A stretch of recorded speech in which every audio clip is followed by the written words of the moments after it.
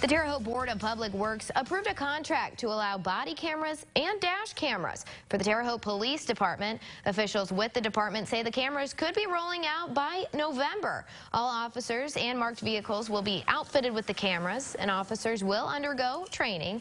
Officials say they've been developing a body camera program since January of 2019 in an attempt to further transparency efforts between the police department and the Terre Haute community. Well,